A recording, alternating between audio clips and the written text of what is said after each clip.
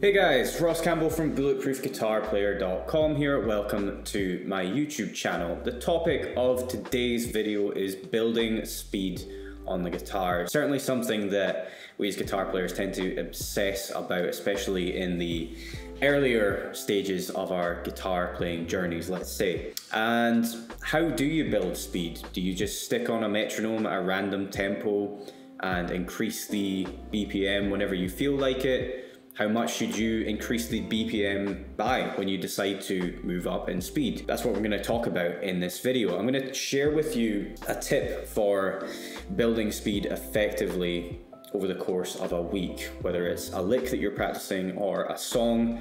This will apply to anything really that you want to build speed with on guitar. So this is a method that I was first shown when I was in my first year of studying guitar at university. My guitar teacher at the time, Jed Brocky, shared this with me and it completely changed my approach to building speed on the guitar. In fact, changed isn't the right term, it actually gave me an approach to follow for building speed on the guitar because before I knew about this method, I, like many of you probably watching this, I would just think, oh, well, I'll just stick on a metronome at 120 beats per minute and then I'll increase it when I want to by, I don't know, 10 beats per minute. There was no method for, let's say, progressive overload uh, in terms of building speed with licks that I wanted to play at higher tempos. So this method revolves around first establishing what you would call a target tempo for something. A target tempo is a tempo at which you could play, say, an exercise almost 100% clean, but not quite. It's like you can almost play it cleanly, but it's also on the edge of falling apart at any moment. So in order to establish that first, you need to have a play around with an exercise of your choice and have a player in with a metronome and figure out how fast can you play it so that it's almost clean, but also there's a few mistakes in there. So let's take that classic Paul Gilbert alternate picking exercise as an example if you don't know what I'm talking about. It's a very simple exercise for building speed with alternate picking, and it looks and sounds like this.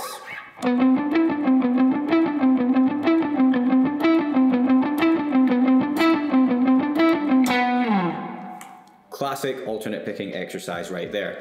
Now, I might have an ultimate end goal tempo for, you know, how, how fast I want to play this. And that will most likely be well beyond what my target tempo is going to be. For example, if I try and play this, let's say my end goal tempo would be like, I don't know, something ridiculous like 210 beats per minute. Let's listen to that.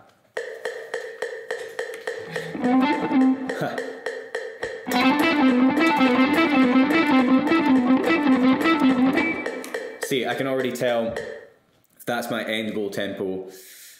It, it really is because that was not even close to sounding clean to my ears at least. So let's dial that back a bit and figure out a suitable target tempo. Let's start at maybe start at like 160.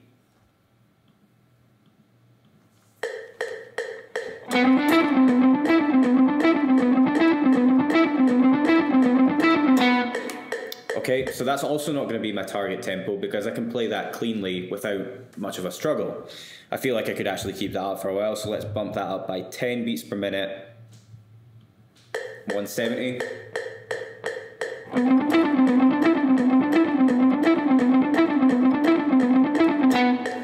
Again, I can play that cleanly, so we need to push it a bit more until we reach that sort of breaking point. Let's Let's go up 20 beats per minute, see how we get on with 190.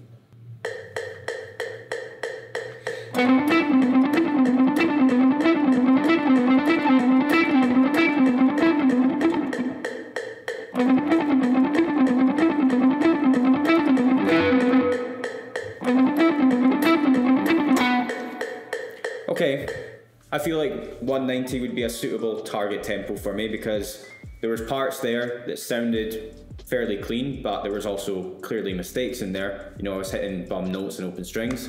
So, because that's almost clean, I'm gonna establish 190 as my target tempo. Now, how the way to build up to 190 for me would be let's, uh, it's Thursday today that we're shooting this, but let's say it's Sunday. Today is Sunday, and by this Saturday, I want to have reached 190 cleanly with that alternate picking exercise. So what I'm gonna do to get there is on the Sunday, on day one, I'm gonna start at 172 beats per minute. And I'm gonna put on a click, a metronome at 172 beats per minute, and I'm gonna play that exercise just at that tempo alone for say three minutes straight or until my hands get tired. So let's listen to 172. And what you're gonna find is that if you've done a good job of establishing an appropriate target tempo is that on day one, your starting tempo is going to be very manageable for you to play it cleanly. So let's listen to that. 172.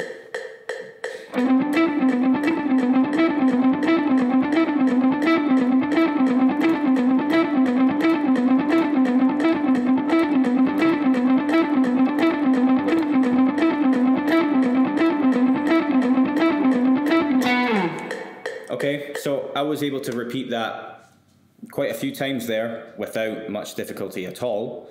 So what I would do on that day one is I'd sit down at 172 beats per minute and like I said I'd play that for three minutes or so and or until my hands get tired and the technique starts to fall apart. But you should be able to keep it clean for a minute or so before that happens. So that's day one. On day two, I'm gonna bump the metronome up by three beats per minute. So I'm gonna go to 175. And I'm gonna do the exact same thing. I'm gonna play the exercise at 175 for three or so minutes straight, no distractions, turn your phone off, no social media or anything like that, just just three minutes of your time dedicated to this one exercise, playing it non-stop or until you know you feel pain or uh, discomfort in your fretting and picking hands. On Tuesday, you're gonna bump that up another three beats per minute. So you're gonna go to 178. And you're gonna do this day by day until you reach Saturday, which is the day you should hit your target tempo of 190. And you should be able to play that exercise cleanly at that tempo.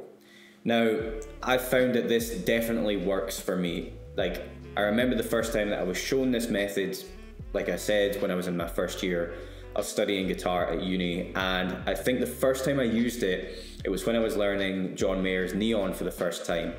And at the time, you know, the technique used to play that song was so foreign to me that anytime I tried to play the song, I thought, man, I'm never going to be able to do this. It just feels so alien.